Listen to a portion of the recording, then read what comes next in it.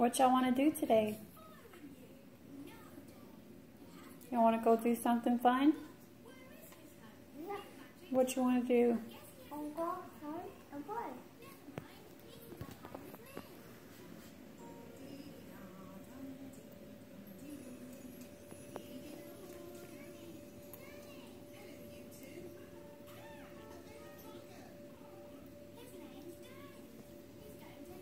Annalise, pick that up.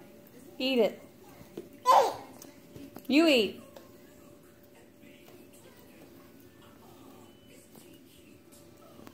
What's it taste like? Like a waffle.